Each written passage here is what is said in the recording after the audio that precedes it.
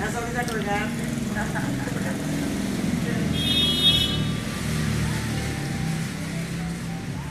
Doña, ¿qué tenemos en la tarde de hoy?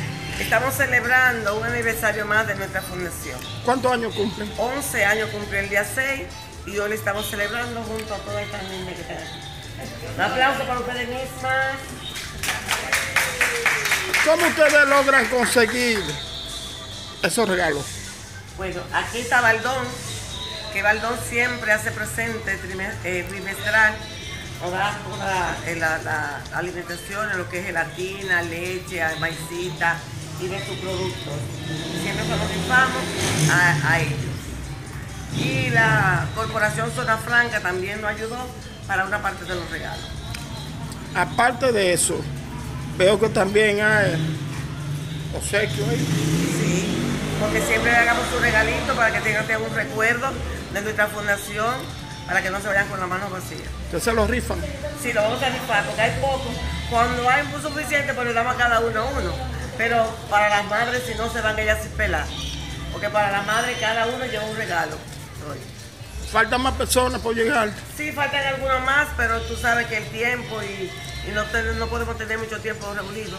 Vamos a, a empezar hasta que vayan llegando los demás. Más, ¿cómo ustedes se sienten con estas actividades?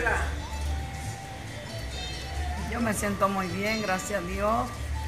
Y a Olimpia, que siempre nos tiene pendientes, ¿ves? Y todas las reuniones estamos, los paseos estamos. Cuando ella siempre vive haciendo la habichuela con dulce, que nos hace el asopao, que nos hace el arroz con leche. El que no puede ir nos lo manda a la casa y siempre está atenta con nosotros, mano a mano. Doña, ¿se siente usted agradecido? es Una, una hermandad de todos nosotros que tam- vivimos como hermanos, como una madre de todos nosotros y nos sentimos muy conformes y muy orgullosos. ¿Y papá qué me tiene que decir? Yo soy nuevo ahora. Estoy muy agradecido de todo.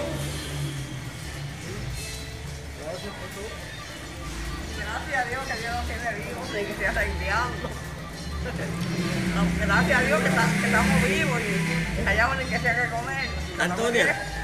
Sí, gracias Señor. Doña Antonia, ¿qué tiene que decirme? Le doy la gracia a ella mil veces por lo que ella ha hecho conmigo, lo que fue que yo nunca lo esperaba, pero encontré una madre mejor que la mía. Gracias a Dios. Amén. Que nos estaba esperando. No veces que nos estaba